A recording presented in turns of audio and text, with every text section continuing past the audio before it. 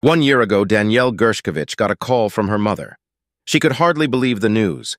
Her younger brother, Evan, a reporter with the Wall Street Journal, had just been arrested. He was the first U.S. journalist in Russia since the Cold War to be charged with espionage. The maximum possible punishment, 20 years in prison. It's been a really difficult year, Danielle tells me by video call from Washington. The uncertainty is very hard to deal with. Writing letters helps. The jailed American journalist has been sending plenty from prison. The best way to support one another is to keep things light, Danielle says. We have a lot of sibling banter back and forth, a lot of teasing with love. I recently asked him if it's okay for me see the Dune movie, the sequel. I felt guilty about seeing it because he can't. Evan's ordeal began 1,000 miles from Moscow in the city of Yekaterinburg. On a reporting trip there, he was detained by the FSB, Russia's domestic security service.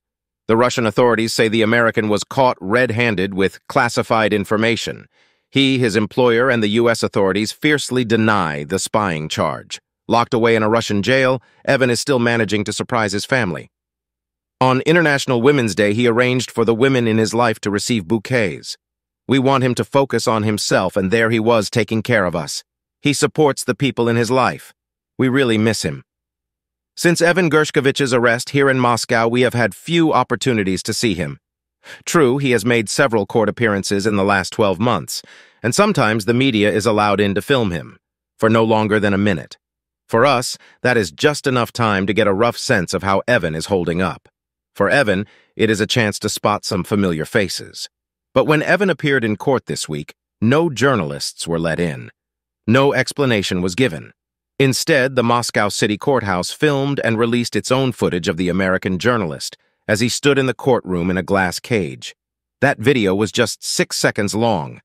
At the end of the hearing, a judge ruled that Evan Gershkovich must stay in pretrial detention. It's just complete, total, and utter nonsense. Evan is not a spy. He's a journalist, Emma Tucker, editor-in-chief of the Wall Street Journal, tells me. Like a lot of reporters a year ago, people were already wary about reporting from Russia. News outlets had begun to withdraw correspondents. They were treading very carefully. So the arrangement with Evan was that he was based in London and was going into Russia for two or three weeks at a time, and then coming out again. He'd been writing a lot of interesting reports on the state of the Russian economy in light of the Ukraine war. This was the sort of piece he was doing. Evan Gershkovich is being kept in Moscow's Lefortovo jail. Built in czarist times, it has held some of Russia's most high-profile inmates over the years, including political prisoners and dissidents. During the Great Terror of Joseph Stalin, torture and execution were commonplace. Former inmates have spoken of an unnerving sensation of total isolation. He is managing. He is in good health, says U.S. Ambassador to Russia Lynn Tracy, one of the few people allowed to visit Evan in Lefortovo. One of the things that has really struck me is how important correspondence has been for him. Corresponding with his family, friends, and people he has never met before has really energized him. It gives him focus and something to work for in terms of the day when he gets out. The U.S. government has designated Evan Gershkovich wrongfully detained.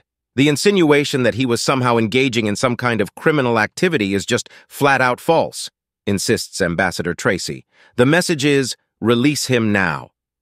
Referring to Evan Gershkovich last month, Vladimir Putin said that he would like him to go home eventually. I say this sincerely. But there is a but. From the unsubtle hints Moscow's been dropping, it is clear that the Kremlin wants something, or rather someone, in return. That someone is thought to be FSB Security Service Officer Vadim Krasikov, who is serving a life sentence for murder in Germany. The Russian authorities barely hide the fact that they see Evan Gershkovich as a bargaining chip. I think it's pretty clear that Evan was picked up in order to be traded, believes Emma Tucker. It's often referred to as hostage diplomacy, which I absolutely hate because there's nothing diplomatic about what's going on. Evan is a hostage. He is a bargaining chip. Putin is holding him as currency. And that is just the brutal reality of it. It makes it very difficult for governments to know how to approach this, because there's a lot at stake here, including what might happen in the future. Kindly like, subscribe, and share your thoughts in the comments section.